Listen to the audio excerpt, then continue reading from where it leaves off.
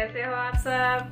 Welcome back to my channel मैंने ये makeup और ये तैयारी करवा चौथ के लिए किए हैं। आज मैं आपको बताऊँगी कि करवा चौथ पर आप खुद से कैसे तैयार हो सकते हो। क्योंकि जिन्हें मेकअप करना नहीं आता है और या जिनके पास बहुत कम सामान होता है तो वो कैसे मेकअप करें? क्योंकि करवा चौथ पे एक दिन के लिए तैयार होने के लिए सब लोग यही सोचते हैं कि एक दिन के लिए तैयार होने के लिए इतना सारा सामान लेकर क्या करना है। और इस दिन तो पार्लर में भी बहुत ज़्यादा भीड़ होती है। अपना नंबर आने के लिए हमें दो दो घंटे वेट करना पड़ता है और फ्रेंड्स, आज मैं आपको बताऊँगी कि आप घर पर ही बहुत कम समय में और इतना अच्छे से तैयार कैसे हो सकते हैं।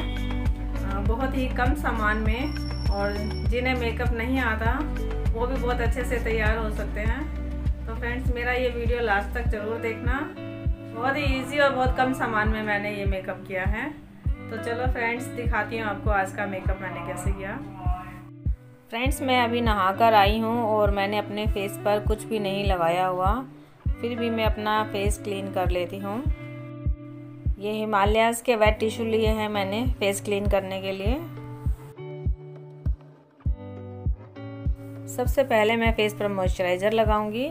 मेरे पास ये ओरी फ्लेम की नाइट क्रीम है। आपके पास जो भी आपके पास मॉइस्चराइज़र हो, आप वो लगा सकते हो। इसके बाद मैं लगा रही हूँ फेस पर और फ्लेम की बीबी क्रीम मैं अपने फेस पर कोई भी बेस प्राइमर या कंसीलर नहीं लगा रही हूँ। मैं ये सिर्फ़ बीबी क्रीम लगाऊँगी। सबसे पहले मैं इस बीबी क्रीम को आँखों पर अप्लाई कर रही हूँ आई मेकअप का बेस बनाने के लिए। मैं इसे हाथों से ही अप्लाई कर रही हूँ।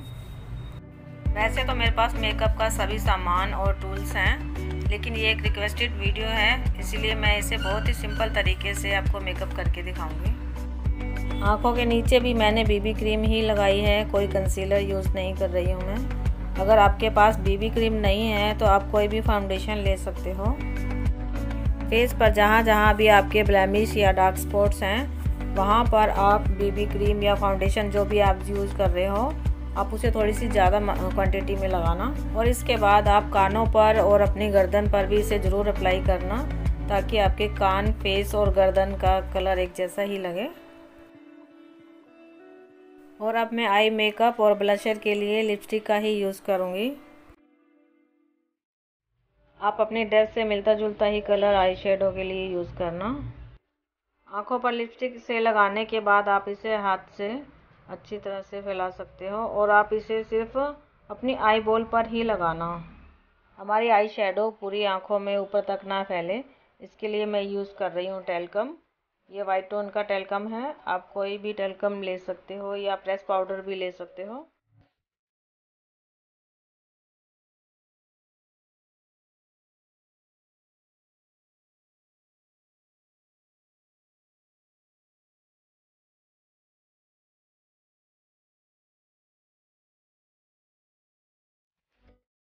और अब मैं यूज़ करूँगी आईब्रो पेंसिल अपनी आईब्रो को शेप देने के लिए।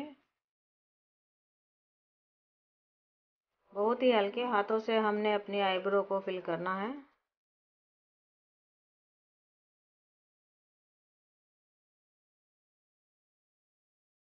ये ओरी फ्लेम की ही काजल पेंसिल है। इसी से मैं आईलाइनर भी लगाऊँगी। जिन लोगों को आईलाइनर लगाने में दिक्कत होती है वो ब्रश वाला आईलाइनर ना लगा के पेंसिल वाला या फिर स्केच पेन वाला स्टाइलो आईलाइनर आता है, वही यूज़ करना चाहिए। इनमें आईलाइनर फैलने की दिक्कत नहीं होती है। आईलाइनर लगाते वक्त आँखों को थोड़ा सा स्ट्रेच कर लेना चाहिए, इससे आईलाइनर बहुत ही ईजीली लग जाता है।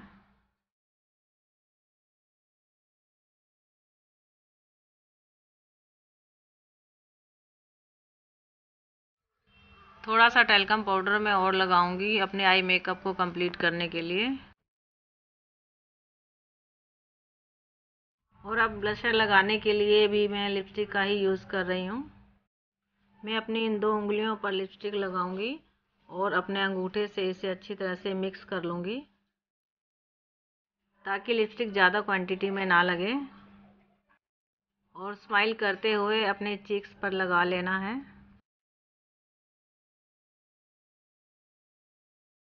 और जहाँ जहाँ हमने लिपस्टिक से ब्लशर लगाया है, वहाँ वहाँ पर टेलकम पाउडर भी लगा लेंगे, ताकि लिपस्टिक हमारे पूरे गालों पे ना फैले।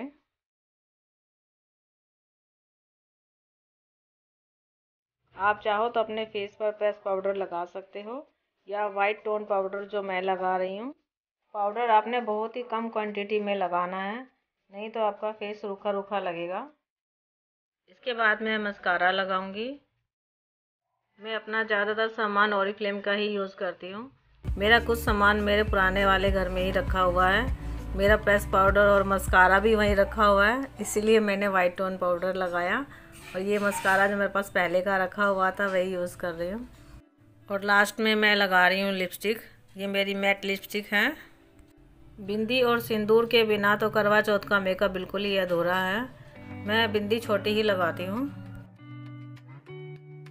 और अब बारी आई है हेयर स्टाइल की। मेरे बाल बहुत ही ज़्यादा छोटे हैं और जहाँ मैं बैठकर वीडियो बना रही हूँ, वहाँ मेरे पास मिरर भी बहुत छोटा सा ही है। तो अभी समझ में नहीं आ रहा कि कौन सा हेयर स्टाइल बनाऊँ। तो अभी तो मैं कुछ एक्स्ट्रा हेयर स्टाइल नहीं बना पाऊँगी। मैं आपको अभी एक सिंपल सा ही हेयर स्टाइल बनाकर दिखाती हूँ। मैंने अपने बालों की पोनी टेल बनाकर छोटा सा जूड़ा बना लिया। और इस पर मैंने ये बन लगाकर रेडीमेड जोड़ा लगा लिया।